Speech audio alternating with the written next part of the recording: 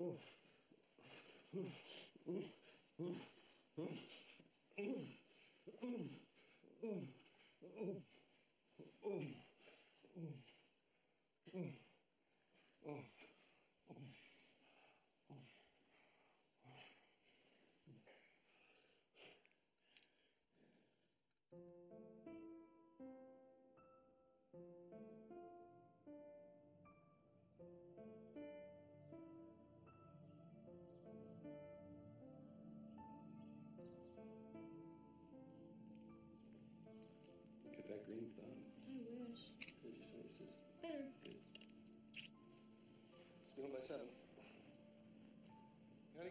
landscapers again about the sod?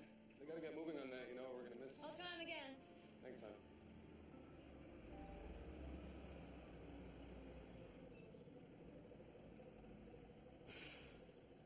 Maybe it's the couch. Great.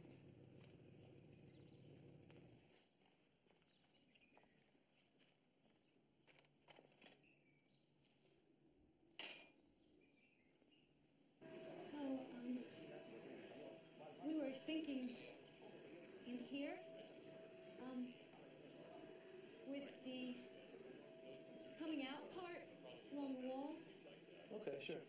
and I guess come in through there. Through there.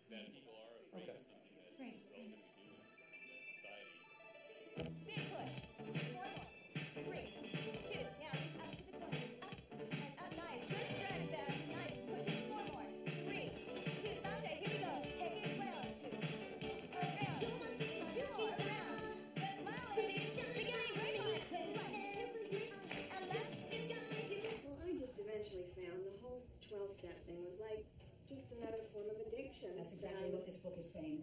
Yeah? Yeah, it's about how to own your own life. You know, because it's like what he's saying is that we don't really own our own lives. We're told what to do, what to think, but emotionally, we're not really in charge. Yeah, but see, I think that with the exercise and the diet and healthy foods. I just think he's know- very good at certain things. Really? Oh, yeah. Have you read him, Carol? No. He's very good on certain things. Emotional maintenance, stress management. You know, Carol, you do not sweat. Oh, I hate you. I know, it's true. No, it's great.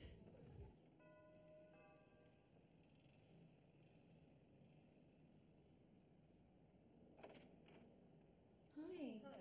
Did you forget? No, it's inside. I just, uh. What? Something happened. Come on.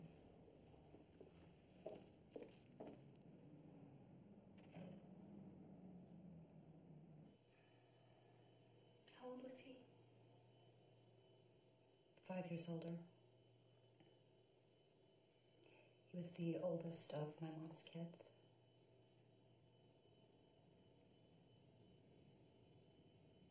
It, um. Wasn't. No. That's what everyone keeps. Not at all. Because he wasn't married. Right.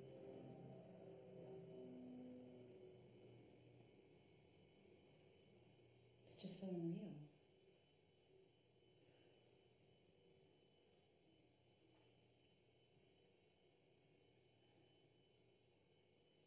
Did you see the den? At your party, it's gorgeous. You know, I'm suing the contractor. Did I tell you? No. You don't even want to know. Sylvia! I'm home!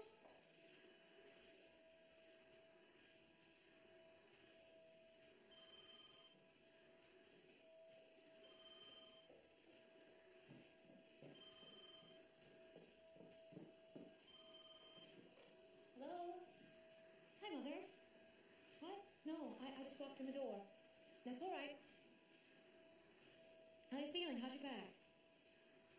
That's good. It's not a bad time, Mother. I just. All right, that's fine. He's fine. They're fine.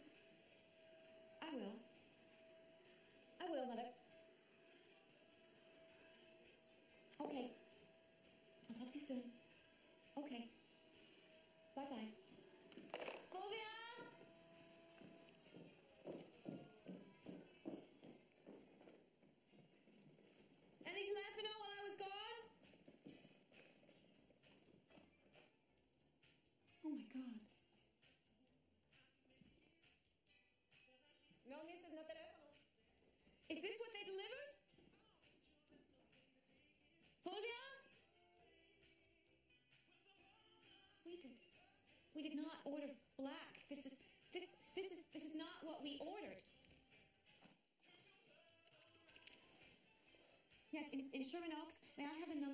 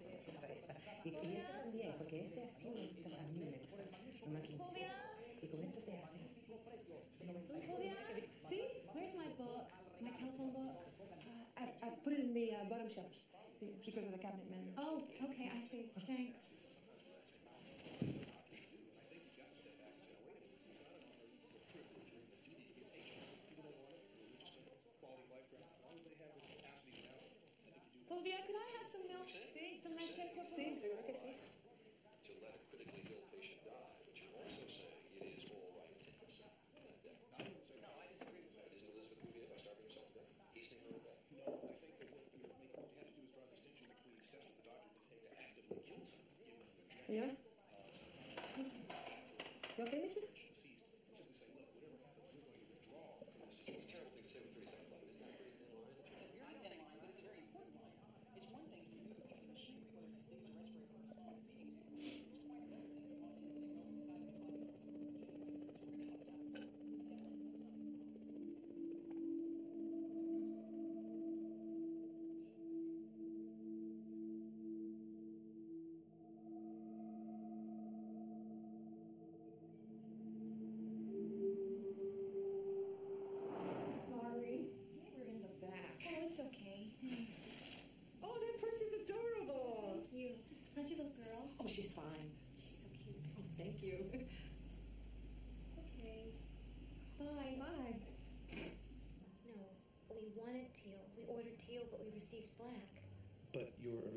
show's black. That's impossible because it doesn't go with anything we have. All right. All right. Let me try the Sherman Oaks store upstairs. See what they have in stock.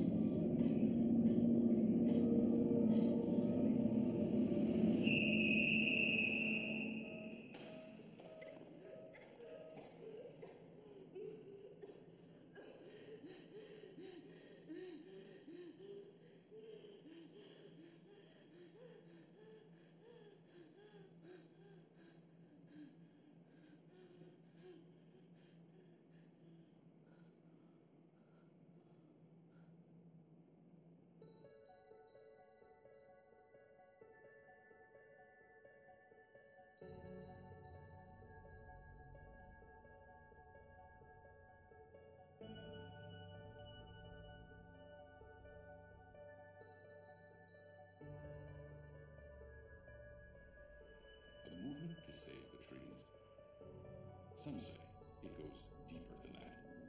Today, environmentalists from all over the globe are adopting a new, more holistic approach to their studies, which they call deep ecology. Deep ecology goes beyond the traditional scientific framework to incorporate a greater spiritual awareness of the planet, or as eco-philosopher Harlan Grass puts it, an understanding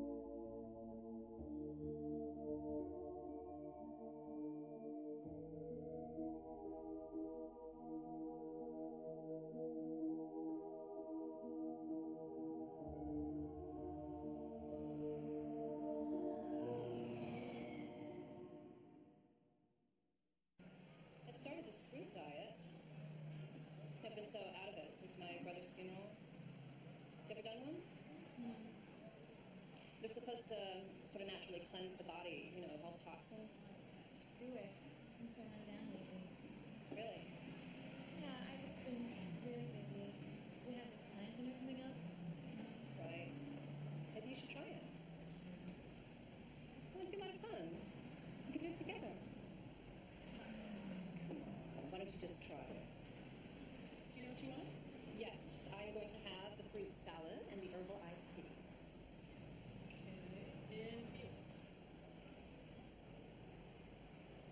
I'll have the same.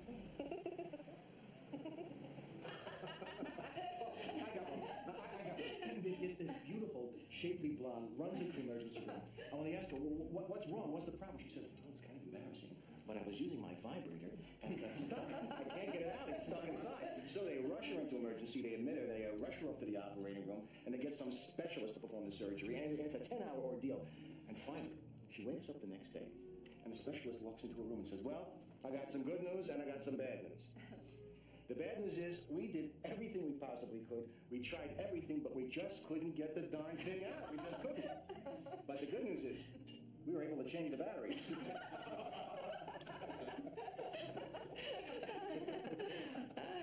Somebody doesn't seem to like your jokes, Dad. Excuse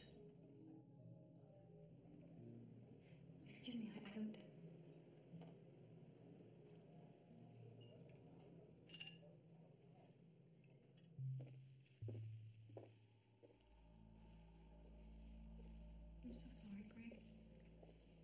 Just overexerted, I guess. Never. Maybe a doctor can give you something for it.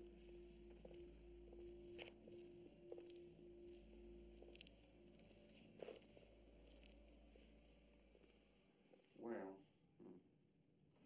I really don't see anything wrong with you, Carol. I mean, outside a slight rash and congestion.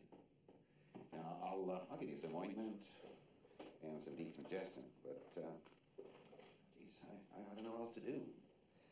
Are you? What?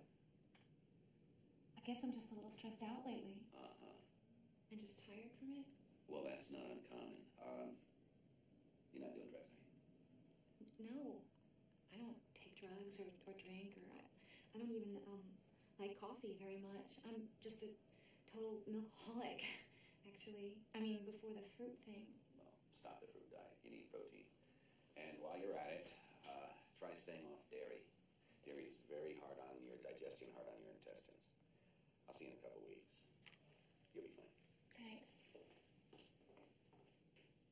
In the 80s, there were more and more gangs in the Los Angeles basin, plus many more stabbings and shootings by AK 47s, Uzis, and MAC 10s, killing numerous of innocent people. LA was a gang capital of America. Rapes, riots, shooting innocent people, slashing throats, arms and legs being dissected were all common sights in the black ghettos of LA. Today, black and Chicano gangs are coming into the valleys and mostly white areas more and more. That's why gangs in LA are a big American issue. Rory White. Good job, Roy. Why does it have to be so gory? Gory? That's how it really is. Hey, hey, hey. You want some coffee? Yeah, I'd love some.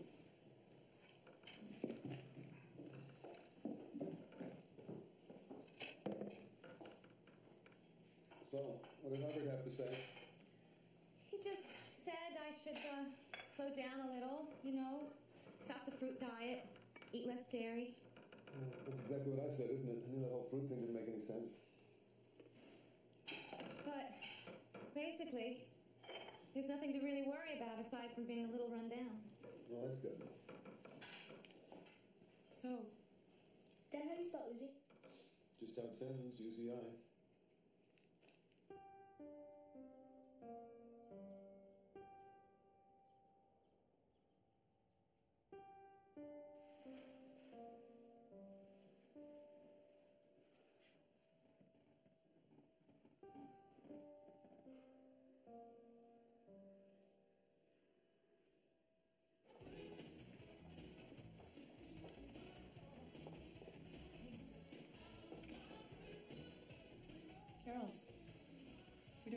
today? yeah.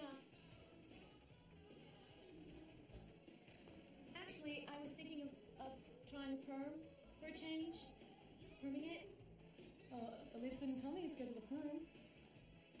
No, uh, I didn't schedule one. I just thought of it now, of trying it.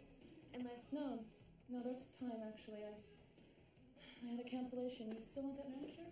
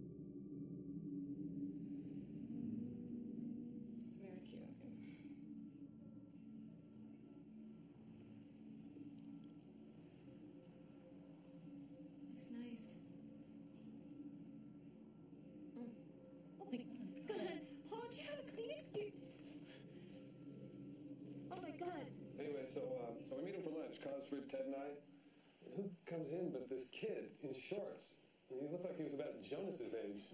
Couldn't believe it. Ted said I looked like I'd seen a ghost. Oh, look what they did with your hair. It's great. I like it. I'm glad, honey. Yeah. Sexy.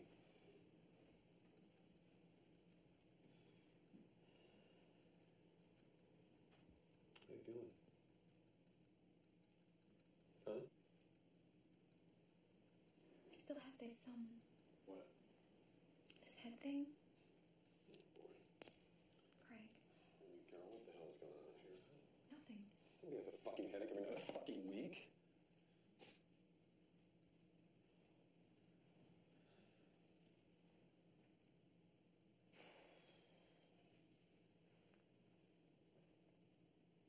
I must have a touch of something because I, I, I didn't want to hear about it.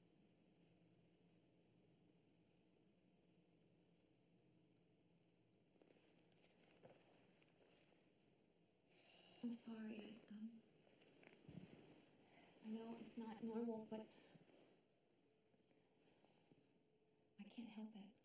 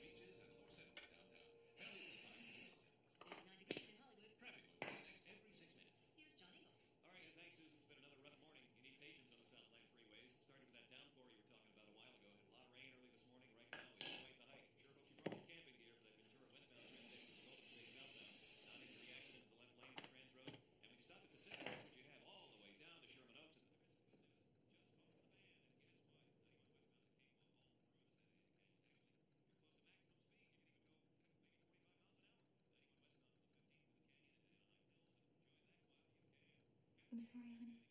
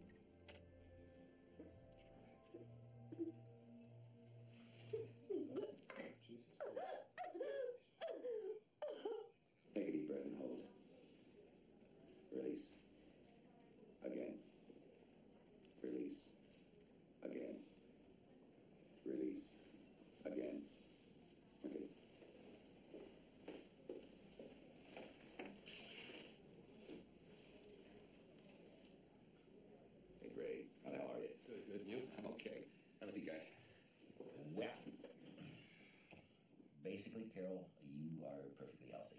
If anything, your condition has slightly improved since your last visit. Now, this is just a suggestion, but uh, you might want to consult someone. And I know a very, very good doctor who's just more suited to stress related conditions, which I think this is.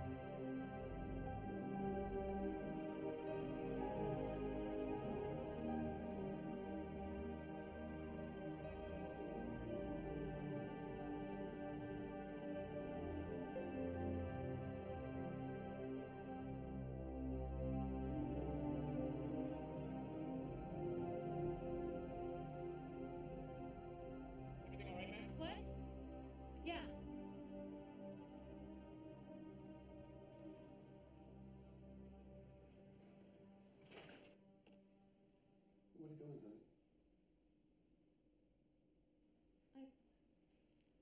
I couldn't sleep.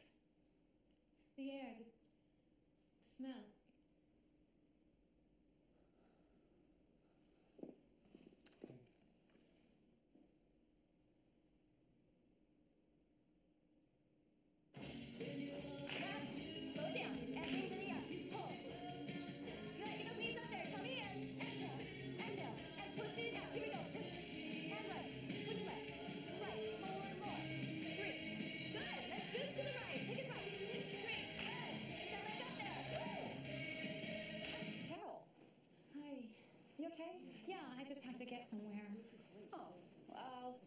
Barbara's Sunday? See you Sunday. Okay. Okay, bye. Bye.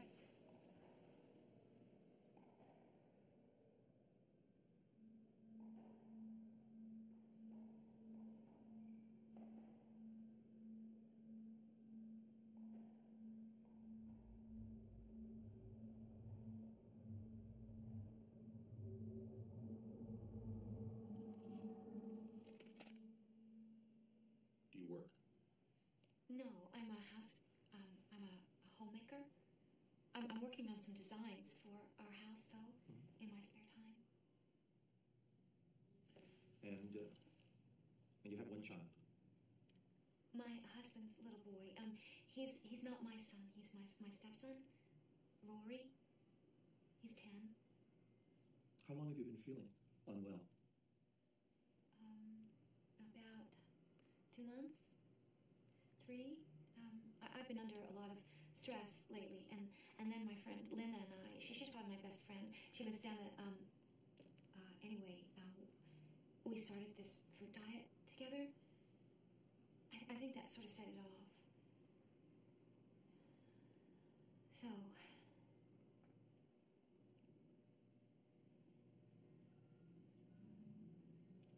Are you uncomfortable? no, I I just thought. I mean, aren't you supposed to ask him questions? No. We really need to be hearing from you. What's going on in?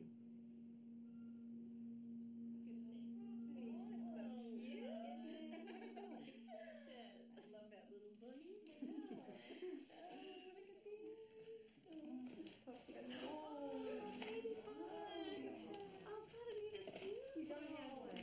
No, no. I'm so glad. I love it. It's perfect. No, if you need to take it back, please, I won't be offended. It's from me and Marcus. Oh, no, no, no. I really love it. It's, it's perfect. So sweet. You should see my baby book. It's this disgusting sort of puke orange. I'm serious. Okay, Lynn, my turn. Linda, thank you. Mm, I hope you like it. Oh, that's so pretty. Did you oh. wrap that yourself? Oh, God, are you kidding? I wish I were that creative. No, I couldn't wrap them. Oh, I can't even draw a straight line. Oh, God. Oh, I love this. I thought it looked great for Chris. Okay, hands up. Who wants decaf? How did you heard it was Herbal tea? Oh, yeah, we're really happy. Gary Real coffee? He must be so happy. Yeah, it's more like it. Where did you come in there? It's so great. Oh, God, I know. Barbara, yeah. There's a panel off the entrance hall to your right.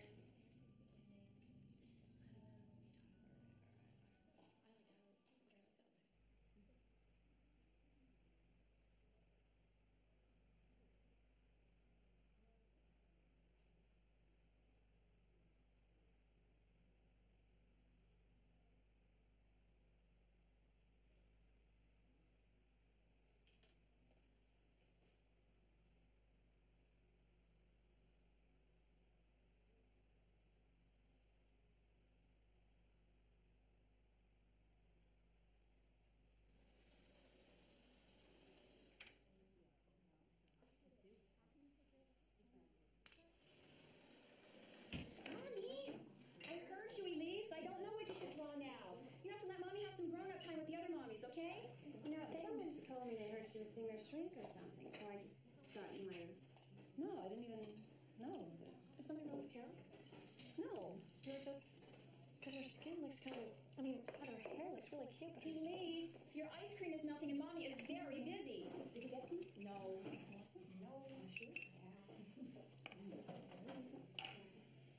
Carol, this is yours. You have to eat it immediately because it's melting all over me.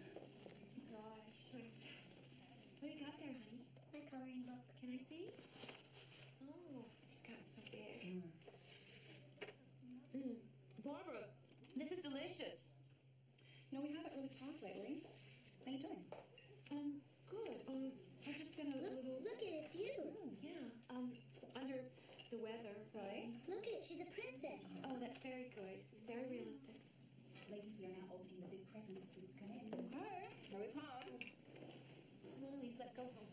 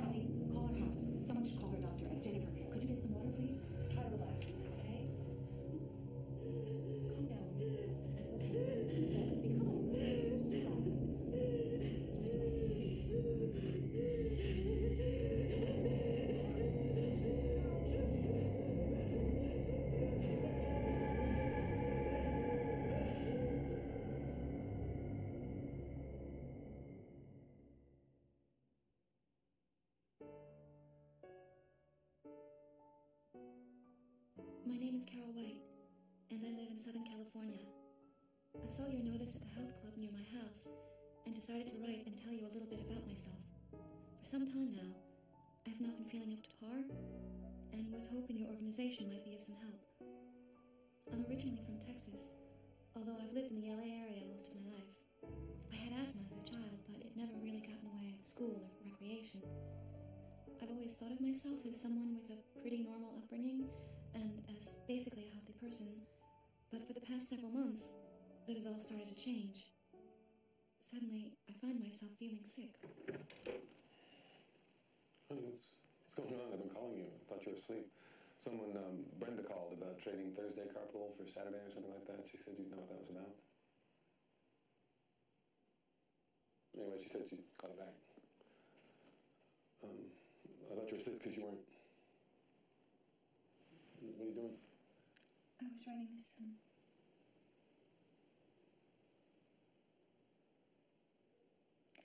I don't even.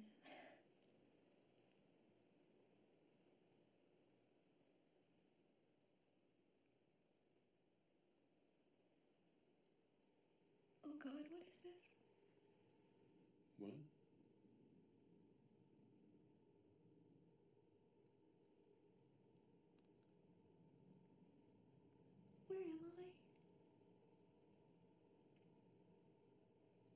Right now? We're in our house. Greg and Carol's house.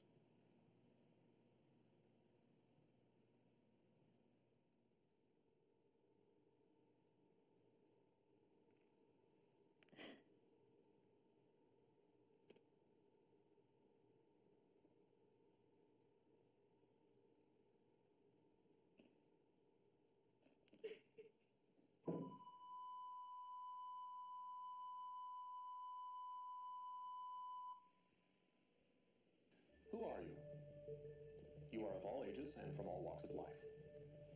But you find you all have one thing in common strange, never ending ailments.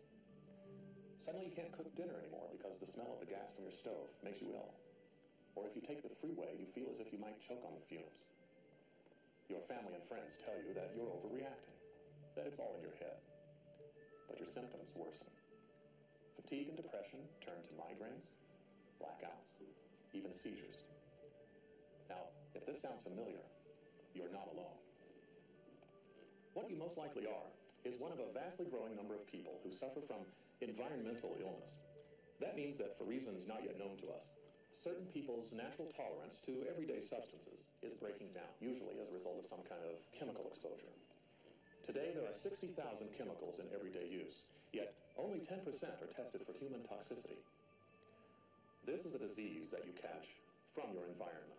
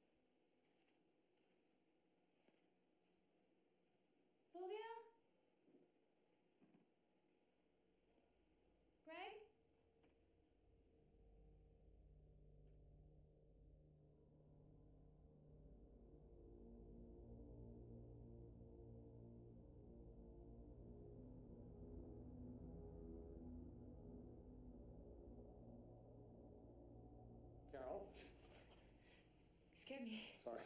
No, I'm sorry. I was just. No, I just took Fulvia down. So, what, did you just get home? Yeah. So, how'd it go? What? Your thing this morning. What was it on? Well, it was just this thing on getting sick on fumes and bug sprays and stuff. You mean on, like, pollution? More about people who get sick from chemicals and what it does to you. Who told you to go to this? No, I just. At the health club, I saw a flyer. So, you think this is what's made you, I mean, why you've been sick? Because of bug spray? No, I, I just. I don't know why.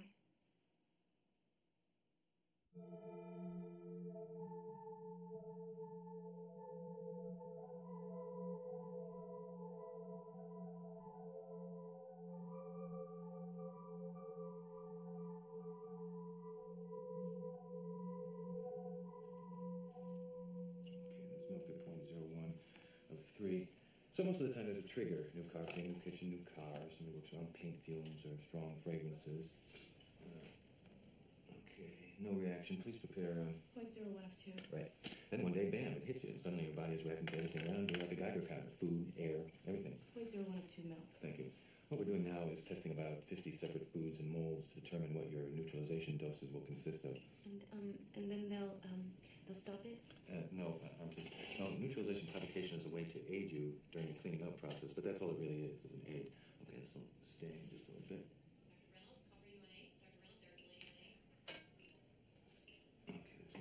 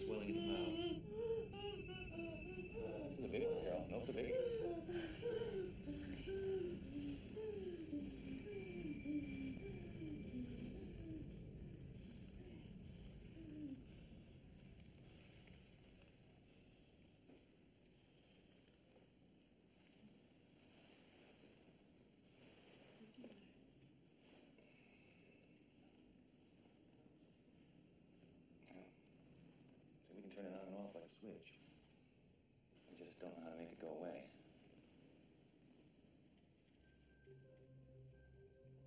The first thing you need to do in order to clear is create an oasis in which to live. Your oasis is your safe place, your toxic free zone where your load has been significantly reduced.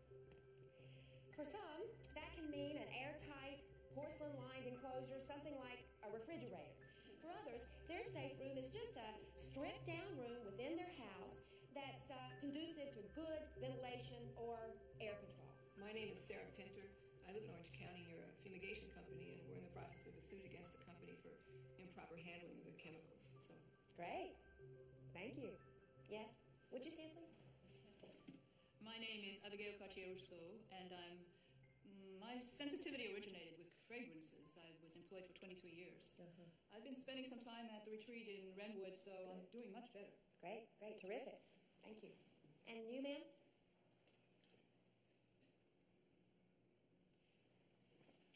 My name's Carol White. This is my husband, Greg. We live in the San Fernando Valley. We're here for my wife who's been ill to um, learn more information and hopefully gain from it as well. Thank you. Hope so too. My doctor thinks I'm nuts. He thinks the whole thing is completely in my head. That's what my husband still thinks. It is in your head. It's in all our heads.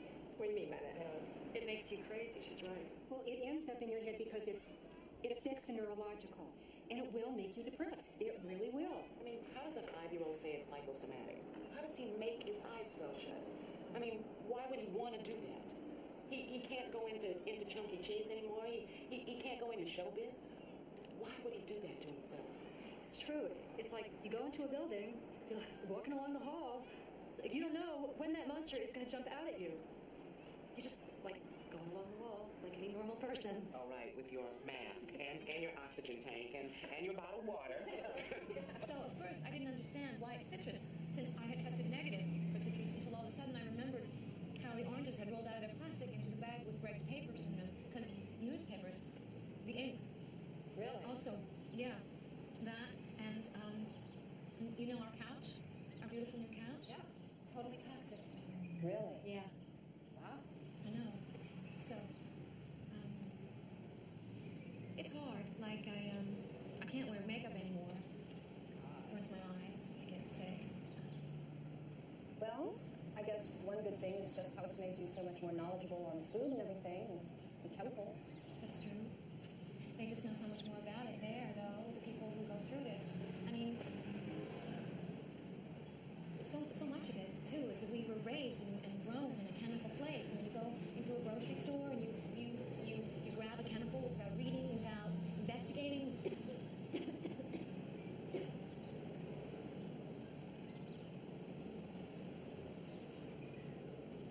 Sorry. Um, but anyway, it's just made me more aware than I used to be. You know what I mean? Next up, the load. What is it? Why is it? And what can be done to improve it? First, what is your total load? Well, in the chemical laden world in which we live, impurities are all around. Everyone must deal with a certain amount of impurities and toxins at any given time, and that's your load.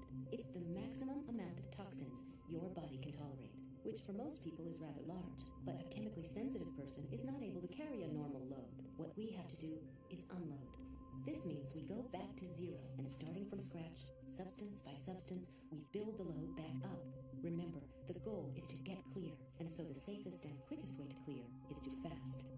Fasting, which can last up to five days depending on the individual, is usually followed by the rotation diet or the rare foods diet, both of which help protect the system while reintroducing foods back into it. Whatever diet you choose, be sure to omit mold antigen containing foods like bread, cheese, alcohol, ketchup, vinegar, mayonnaise, mustard, coffee, or chocolate. Molds are very hard on the immune system, whether you're EI or not. And throughout your unloading process, be sure to have adjusted your living conditions accordingly. Safe bodies need safe environments in which to live. And there are healthy alternatives that exist for just about every toxic product, gas, or ventilation system out there. But it's up to you to find them.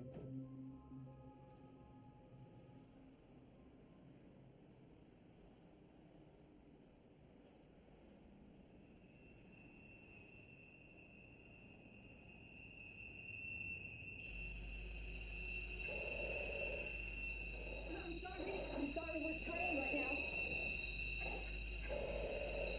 Oh my God.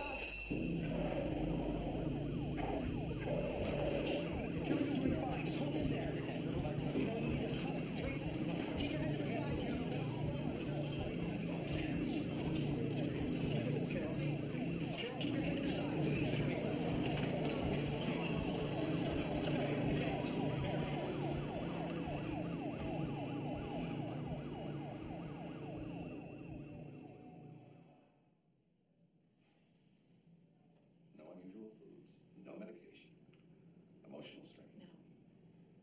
Well, can you think of anything else that might be causing it? So what you're saying, Carol, is that this is based solely on a pesticide and nothing else. Have a chemical impairment that makes I realize that, Carol, but it's just not turning up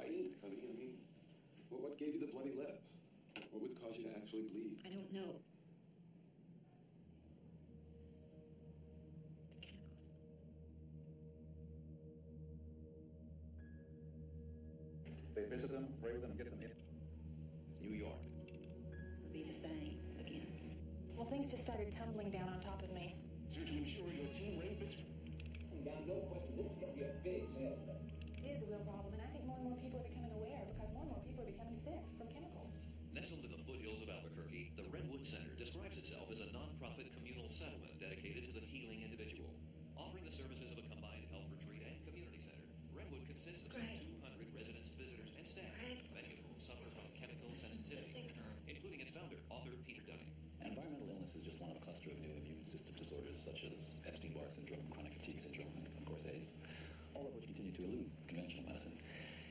At Wrenwood, we offer an alternative. I like to think of us as a kind of safe haven for troubled times. We're the most extensive cooperative treatment residency of our kind. But what I think makes us really unique is our emphasis on the individual. Are these victims of 20th Heard century about this disease place for some time. canaries in the coal mine warning us of a disease-ridden future? If so, the Wrenwood Center is certainly ahead of its time. People come for all different reasons. I guess the thing we all have in common is like why, you know, why did we all get sick to begin with? What's it called? Wrenwood.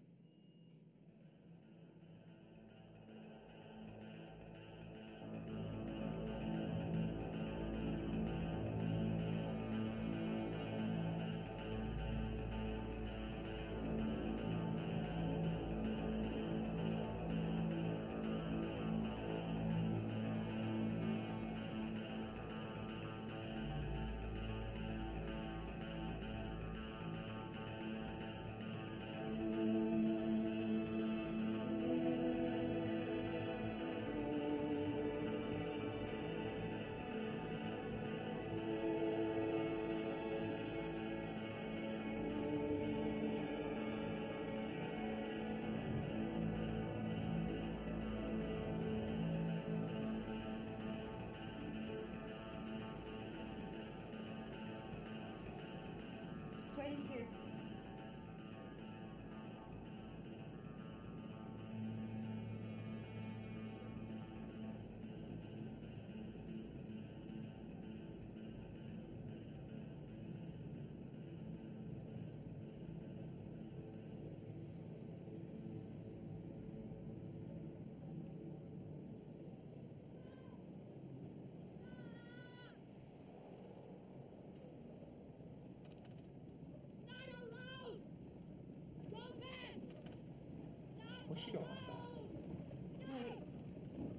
better stop.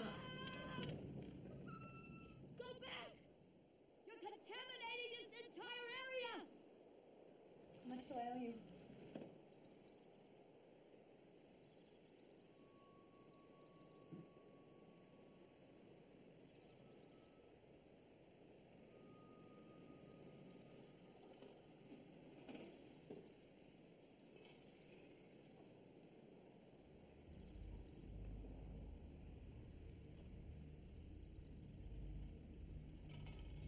I see.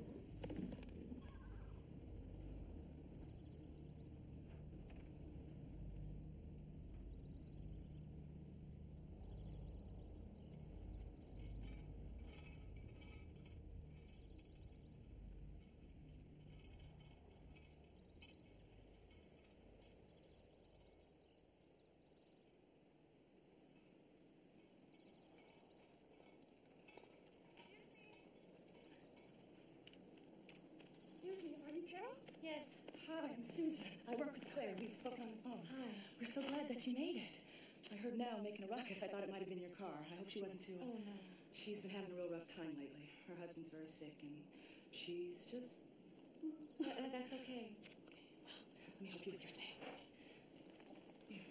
Thanks. This is a chemical-free zone. We have reading boxes, uh, safe TV, and there's a 911 phone in case of any kind of medical emergency. Right. We're sorry to hear that your husband wouldn't be able to join you. Oh, I, I know. He's just in the middle of all this business. They, they should be here soon, though, he and our son. I should call them, actually. Oh, sure, sure. There's a phone inside the center. Great. We acquired the center in 1978 and been battling to keep it ever since. But basically, this is where all group convening takes place. Um, we have all of our workshops and um, our evening talks, that sort of thing here. The dining room is right across the way, the other side of the street. Oh, hi. Um, You must be Carol. Carol, this is Claire, our director. Hi. Welcome to Wrenwood. How was your trip? Whoops. Well, I guess you just wiped out. There's nothing more debilitating than travel. Claire was hypersensitive when she first came to Wrenwood. No, I'm just semi-hypersensitive like the rest of the world. I'm, I'm, I'm a little um, from the flight. I know. We'll just quick get you checked in, and then we'll take you down to your cabin, and you can flop or do whatever till dinner. But I know that there are quite a few people who are anxious to meet you. Thank you. Um, Carol, if you want to leave your bags here and use the payphones, they are just beyond the chapel, the little auditorium to the right. Okay? Thank you.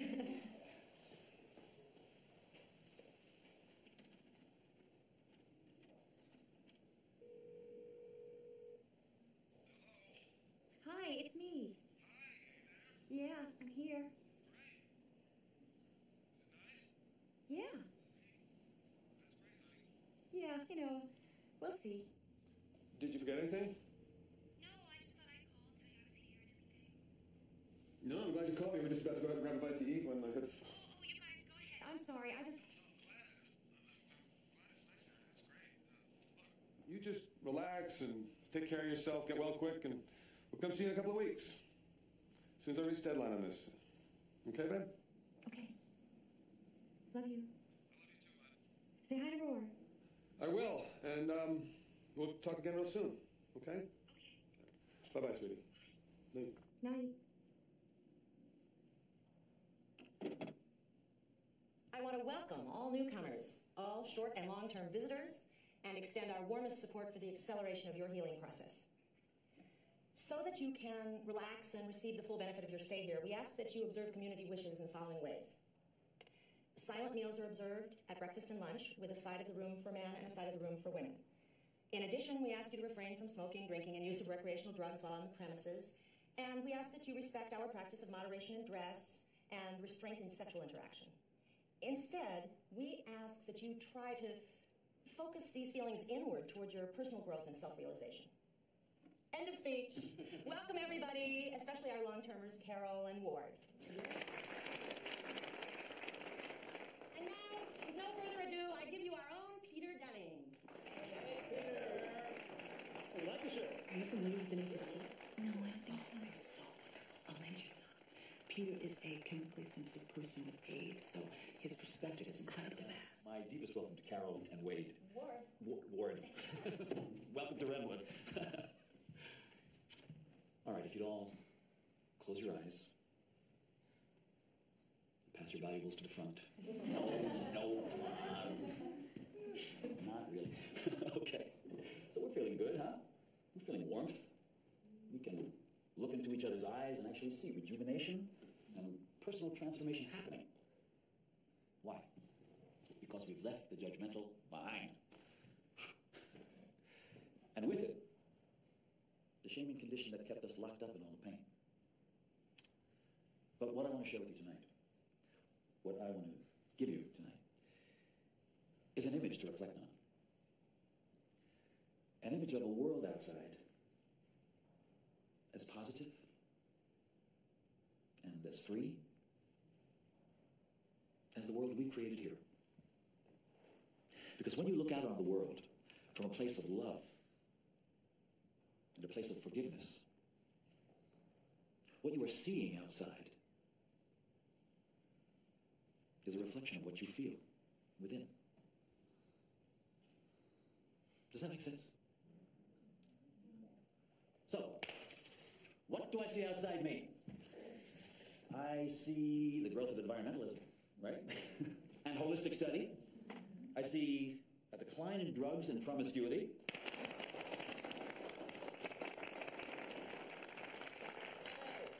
I see sensitivity training in the workplace. Yeah, and a men's movement, and multiculturalism.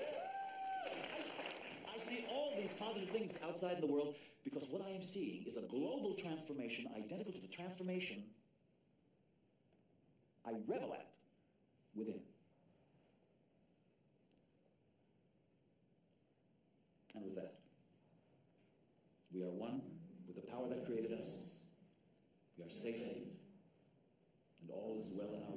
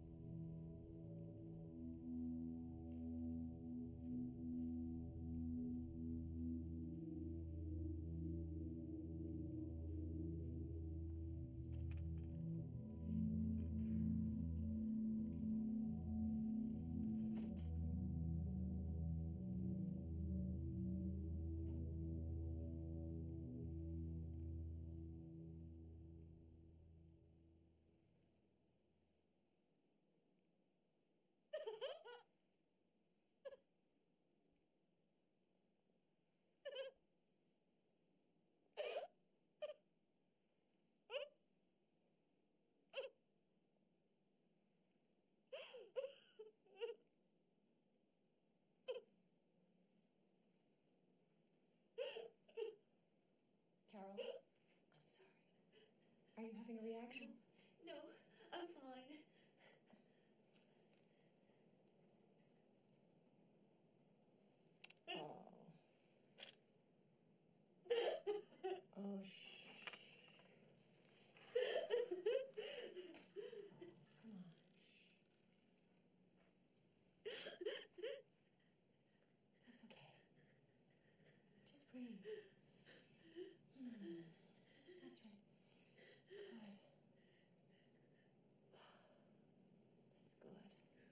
Okay.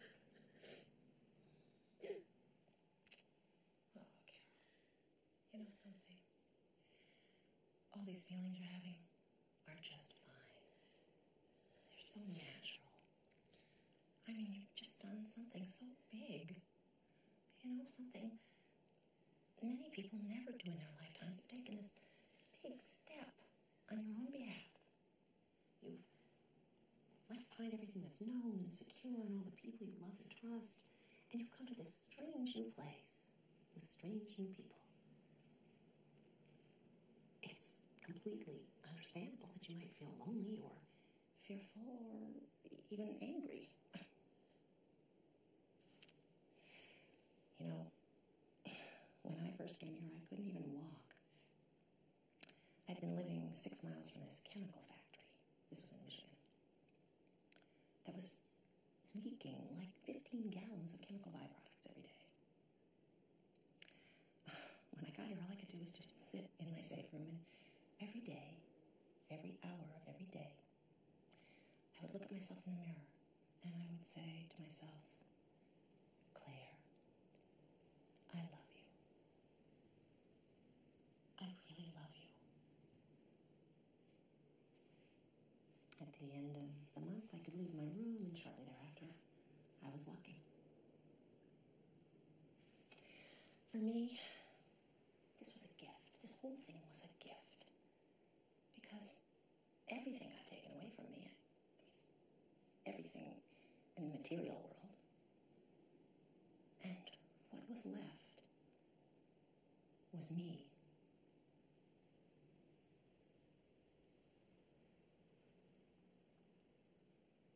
Thank you, Claire. You better. You'll do fine. Sweet dreams.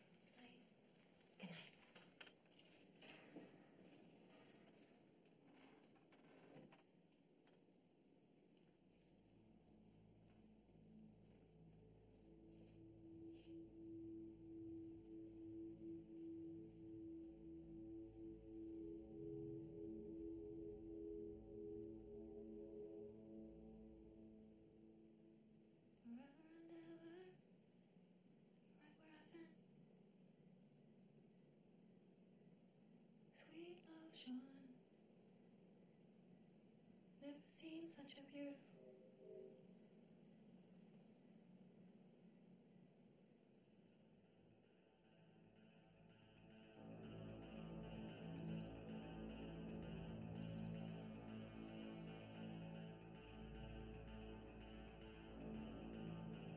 Dear Greg and Rory, how are you guys?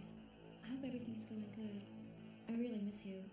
I'm feeling a little better, so I decided to stay the full amount. At first, it was hard to get used to, but now I really think it's starting to help. I've been so much more relaxed and eating healthfully, and the desert landscape is really beautiful here.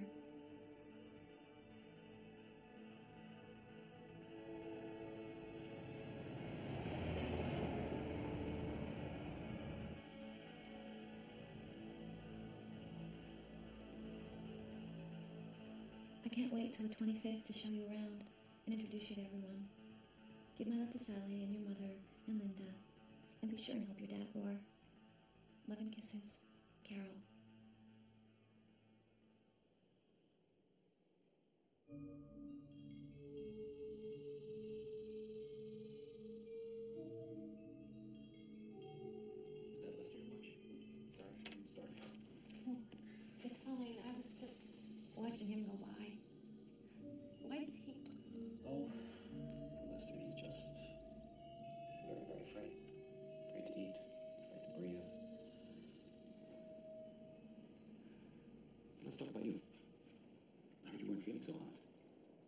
It was just a little um, shortness of breath and some dizziness. I noticed a highway near here, and I wondered if maybe my cabin room was a little downwind or something. I thought that maybe if I tried another cabin. Claire would be the best person for you to speak to about that. Claire is? She's really the one. Okay. I remember Claire sharing with me a little while back some concern over you. That you've been feeling some remorse. Maybe some apprehension. I was just. All I'm saying is that these feelings that you're having, Carol, are extremely common, especially in relation to new environments, and especially for someone who's environmentally ill, okay? And what we're about is trying to help absorb as many of these tensions as we can, so you're free to do the kind of healing that you need to be doing. Does that make any sense? Because when that's accomplished, I'm, I'm doing my job. No, I, I know. I'm just still learning, you know, um, the words. Oh, no. The words are the way to get to what's true. Right? Right. See the cat? Where?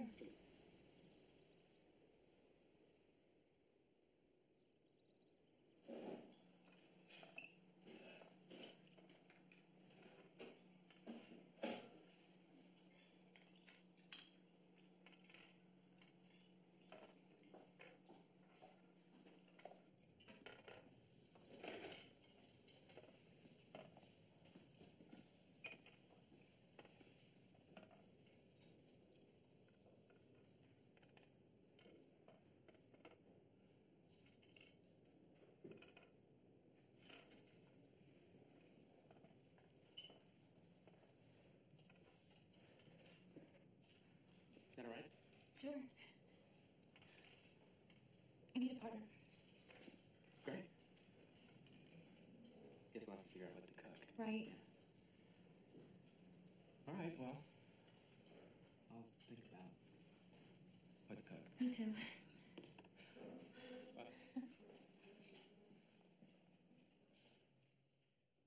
She had all, all these little different, you know, candies and stuff she'd keep in there. She, she used to let me open the clasp and look inside the purse and close the clasp.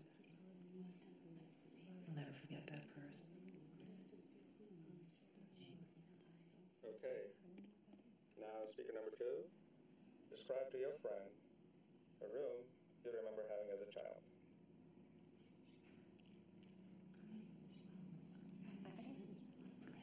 Um, um.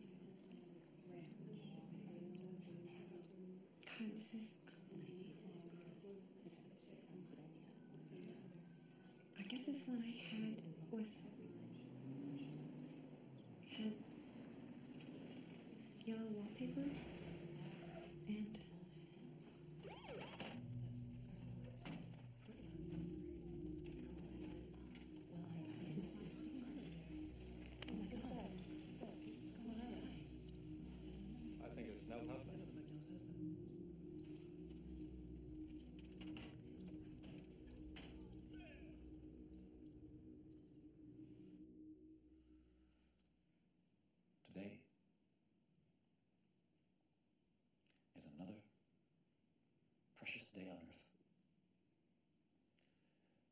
Let's throw away every negative, destructive thought we might have and look around ourselves with love.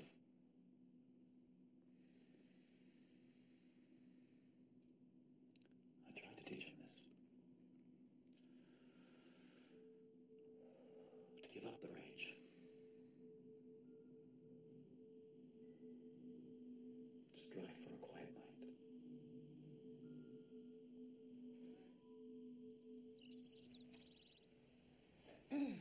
Concern is it sounds like a spiraling down if you're feeling more sensitive to the fumes that way. You shouldn't really be outside. The problem is there just aren't any center accommodations available right now, except for cabins and dormitories. Oh, I'm fine. Really. Oh, except for Harry's. Harry's? Mr. Keene, Nell's husband, built a safe house. You can see it. It's right next to recycling over there in the little white igloo. You lived in that? Oh, yeah.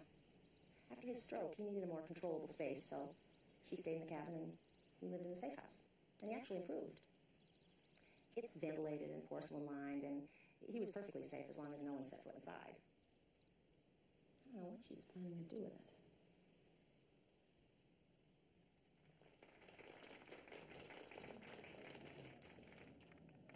Ladies and gentlemen, I have a confession I'd like to make.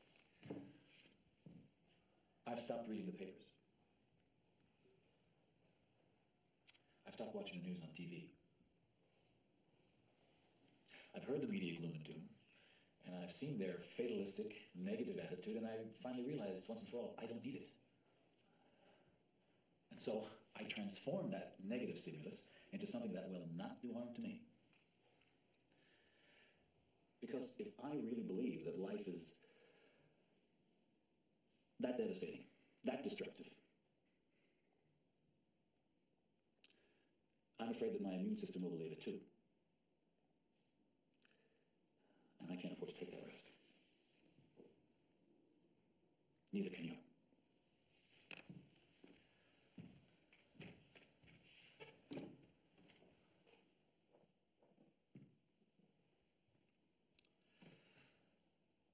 We are one.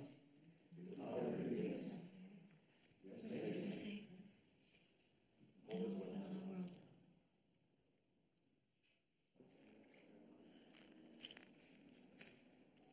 So my brother called, and Darlene had another girl. Oh, I'm calling tonight.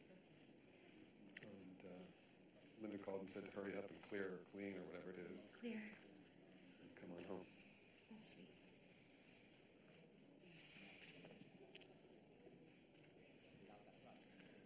So you really feel like it's still the right choice? And Yeah, I. I do. I mean, right before the fumes, I was good. My load was out. I was eating well. So, what did they say about the fumes?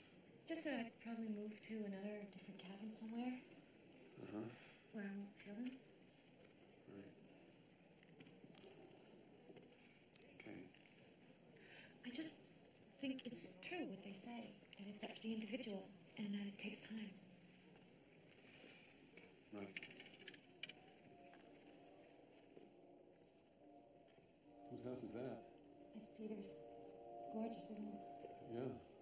You like moving? No.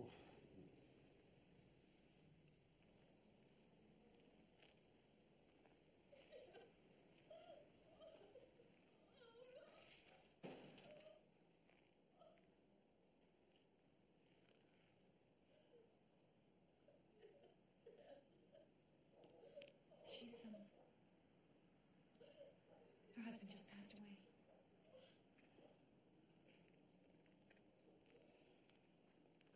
Come on, Rory.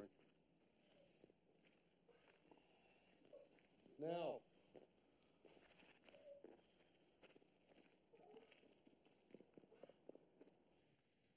Steve, Why did you become sick? um, well, I became sick because I just OD'd on all the drugs I was doing.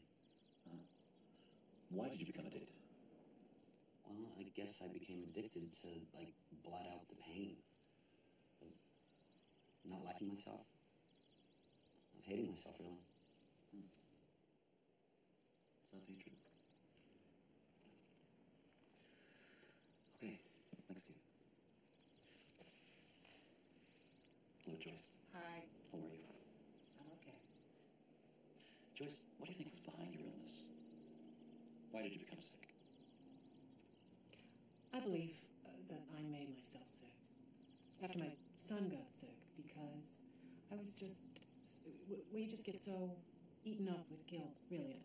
Uh, you know, because I felt that I had done it to him. I mean, I was the one who put him in that school. I put him in that environment. You were punishing yourself.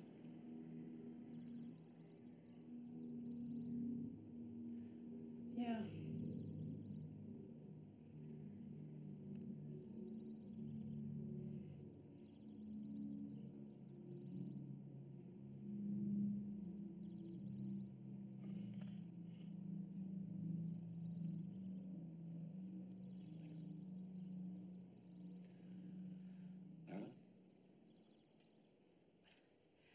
I was um, deeply wounded as a child and had completely blocked it out for years and then uh, suddenly became very ill. Why do you think? Maybe I let myself know something was wrong. Okay. And the person who hurt you the most was me.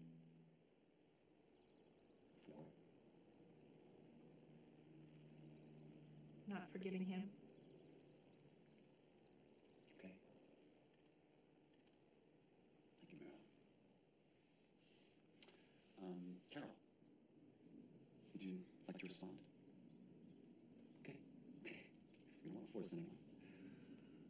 Nell, What? would you like to take part? What is the question? The question is, why did you become sick?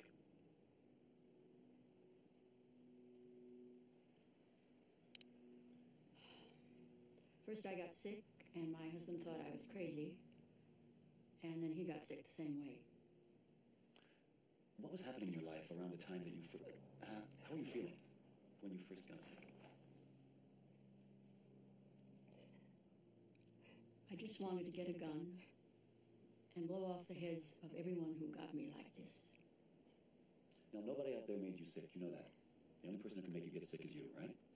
Whatever the sickness, if our immune system is damaged, it's because we have allowed it to be through exactly the kind of anger that you're showing us now.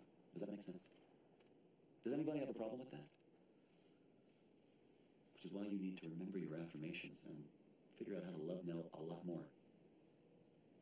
And even Nell's disease. And put that gun of yours away.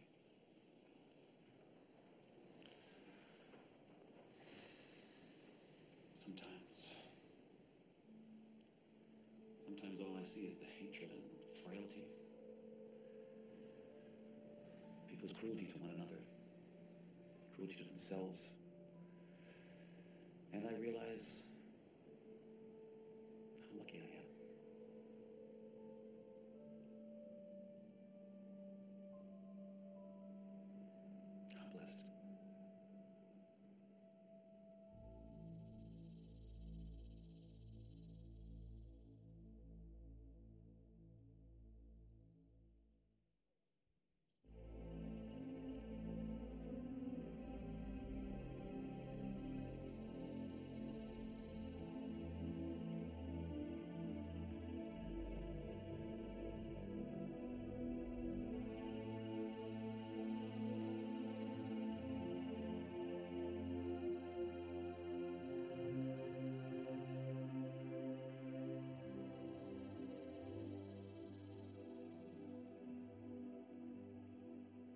That everything? I think so. Rory, be careful with that. It's real heavy. I have it. Rory, don't talk to your mother in that tone of voice. Fine. What time's your flight? 720. You know, Rory, if you really want to be helpful, you can go make sure all our stuff's in the car and we're ready to go. You get that? I got it. You sure?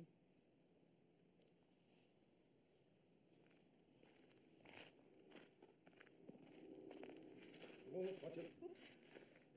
Okay.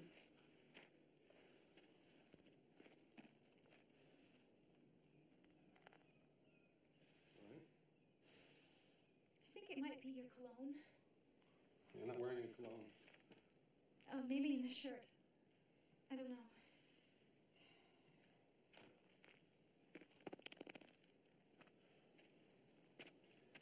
Well, I guess we better get moving if we're going to catch the plane. You'll be okay? I'm fine. It's just for a short time. I know. I'll be fine.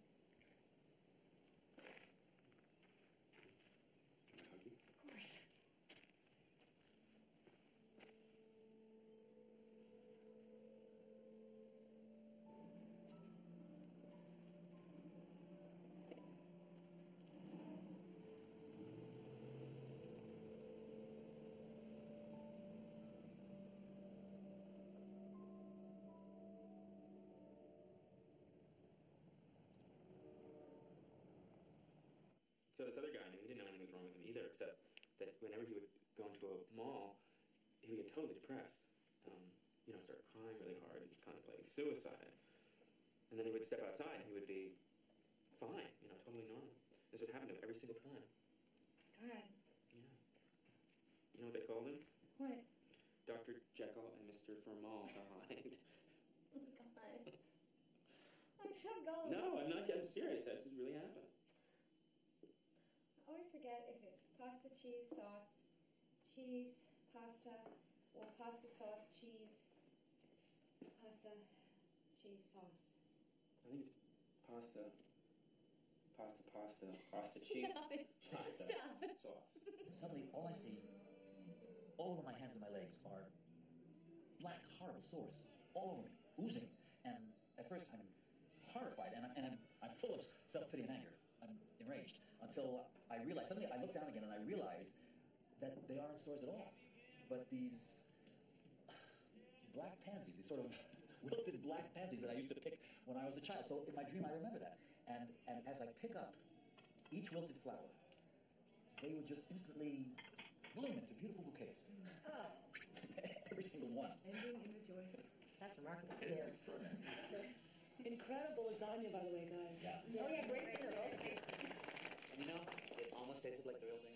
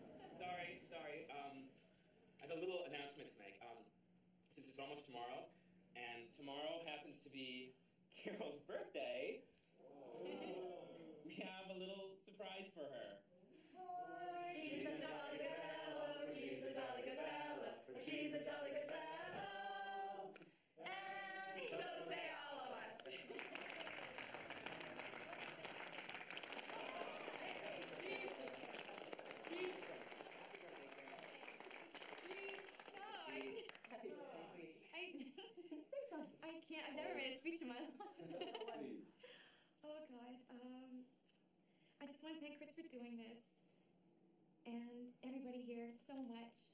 Um, it just pulled me through a really hard period. Anyway, I couldn't have done it without you. I don't know what I'm saying. I just um, just that I really hated myself before I came here, and um, so I'm trying to see myself hopefully um, more as I am, more um, more positive, like seeing the pluses.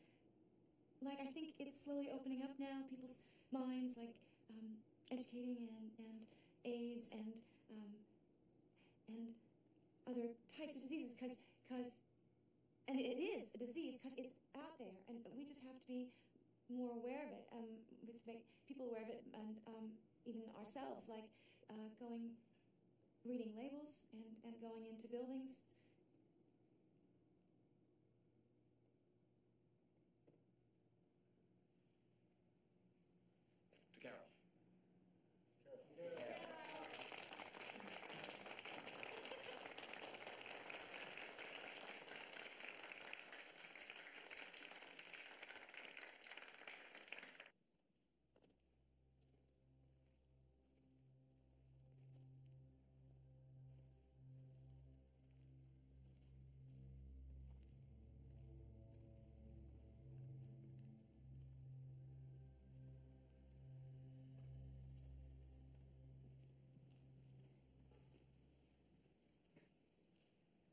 Thank you, Chris, for everything.